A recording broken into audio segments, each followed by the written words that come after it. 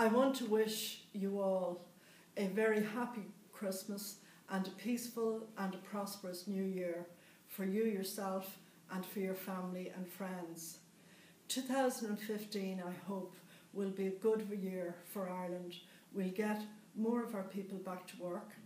In January and February, we'll be seeing the beginning of tax reductions and USC reductions uh, for people at work, and we'll see an improvement in child benefit and the living alone allowance.